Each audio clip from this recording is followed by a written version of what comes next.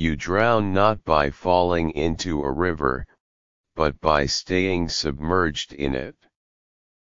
When you want something, all the universe conspires in helping you to achieve it.